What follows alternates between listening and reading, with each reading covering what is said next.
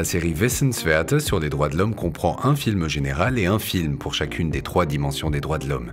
Chaque dimension a autant d'importance dans le système des droits de l'homme. Les films présentent entre autres la genèse des droits de l'homme, les violations dont ils font l'objet actuellement, ainsi que les droits des femmes et le rôle des organisations non gouvernementales comme Amnesty International. Le film numéro 3 concerne la troisième dimension, à savoir les droits collectifs. Il est également question du développement du système des droits de l'homme et des grands travaux entrepris dans ce domaine. Les années 70, le monde a beaucoup changé.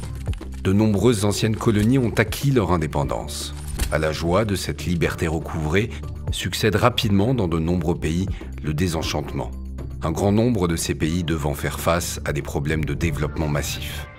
Les causes de ce phénomène sont souvent transnationales, voire mondiales. Les répercussions du changement climatique, par exemple, ou le commerce mondial inéquitable. Ces conséquences sont la guerre, le sous-développement, la corruption, et la destruction de l'environnement. La plupart du temps, les pays en voie de développement concernés ne peuvent résoudre seuls ces problèmes. C'est pour remédier à cette situation que les pays en voie de développement ont fait entrer les droits de la troisième dimension dans le débat sur les droits de l'homme.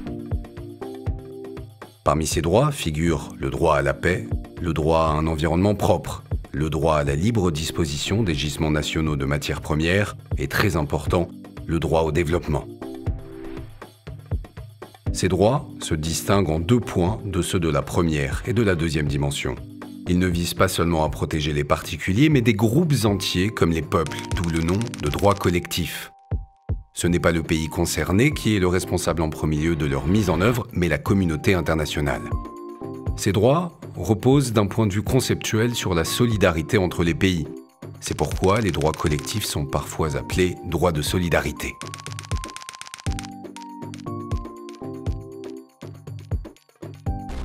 La troisième dimension est plus controversée que les deux premières. Un argument critique est que les droits de l'homme sont par définition des droits individuels et qu'ils ne peuvent donc concerner que des individus. Quelques experts considèrent également que les droits de la troisième dimension ne pourront jamais atteindre, ni sur le plan juridique, ni sur le plan politique, la même place que ceux de la première et de la deuxième dimension. Le principe d'indivisibilité des droits de l'homme risque donc d'être ébranlé et l'ensemble du système de protection des droits de l'homme affaibli. La plupart des pays industrialisés se sont tout d'abord refusés à reconnaître cette troisième dimension des droits de l'homme.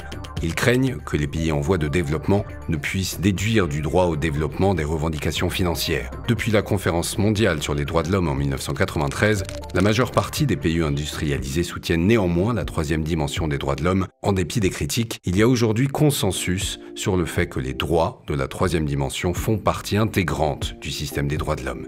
La troisième dimension des droits de l'homme montre bien que si ces droits sont universels, certains droits sont néanmoins aliénables et que de nouveaux droits peuvent venir s'y ajouter. Cela peut s'avérer nécessaire en raison de l'évolution des technologies, par exemple la découverte du génie génétique ou du clonage. Mais il est possible aussi que des bouleversements politiques aboutissent au même résultat, dans le cas de la troisième dimension, du fait surtout de la décolonisation et de la mondialisation.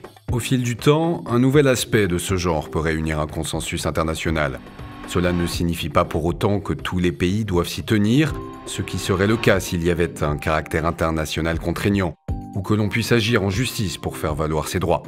Pour que cela soit possible, il faudrait que ces droits soient fixés par un traité international. Pour les droits de la première dimension, ce traité est le pacte civil, et pour ceux de la deuxième dimension, c'est le pacte social. L'adoption de nouvelles conventions des Nations Unies peut également rendre certains droits contraignants en droit international, c'est le cas par exemple de la Convention sur l'élimination de toutes les formes de discrimination à l'égard des femmes et de la Convention relative aux droits des personnes handicapées. L'étape suivante est la justiciabilité. Que peut faire sur le plan juridique une personne qui considère que ses droits de l'homme ne sont pas respectés? Un traité international contraint les pays signataires à adapter leur législation nationale. Les victimes de violations de ces droits peuvent alors agir en justice dans leur pays d'origine à supposer qu'une personne introduise une requête devant toutes les instances sans parvenir à faire valoir son droit. Dans ce cas, il lui reste deux possibilités. Première possibilité, cette personne introduit ce que l'on appelle une requête individuelle devant les comités de la Convention, après quoi le comité rend une décision. Bien que cette décision ne soit pas contraignante pour le pays d'origine du requérant, l'expérience montre qu'une telle décision publique peut avoir un poids politique considérable, aucun pays n'appréciant particulièrement d'être présenté à l'opinion publique comme violant les droits de l'homme. Cet instrument important existe pour la première et la deuxième dimension, ainsi que pour les conventions. En revanche, il n'existe pas, jusqu'à présent, pour la troisième dimension. Deuxième possibilité, cette personne introduit une requête devant l'un des systèmes régionaux de protection des droits de l'homme.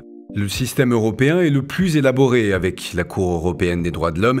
Il possède une juridiction qui est très souvent saisie. Chaque année, elle reçoit plus de 50 000 requêtes individuelles en provenance de pays membres du Conseil de l'Europe. Les autres systèmes régionaux de protection des droits de l'homme sont à ce jour nettement moins évolués. Ils offrent peu d'alternatives au système des droits de l'homme des Nations Unies. Le système international de protection des droits de l'homme se développe manifestement en permanence. Les acquis sont nombreux, mais il reste beaucoup à faire. Voici quelques-uns des grands chantiers en cours dans ce domaine. Les systèmes régionaux de protection des droits de l'homme, africains et américains en particulier, doivent être renforcés. Dans les régions du monde comme l'Asie et le Proche-Orient, il n'existe à ce jour aucun système régional de protection des droits de l'homme. Ces systèmes restent à créer. Les différents pays et la communauté internationale doivent multiplier leurs efforts afin d'empêcher les violations des droits de l'homme n'émanant pas des États, mais commises par exemple par des multinationales, des groupes de rebelles ou des milieux de la criminalité organisée. La Cour pénale internationale de la Haye doit être développée et renforcée.